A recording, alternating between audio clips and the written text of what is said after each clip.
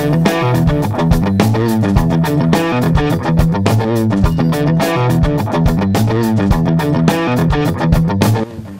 right, folks, we're here with Joe Colton of Girls of the Finest, and she has a special message for everybody out there that we're giving her the mic to let her speak her mind, as scary as this may be.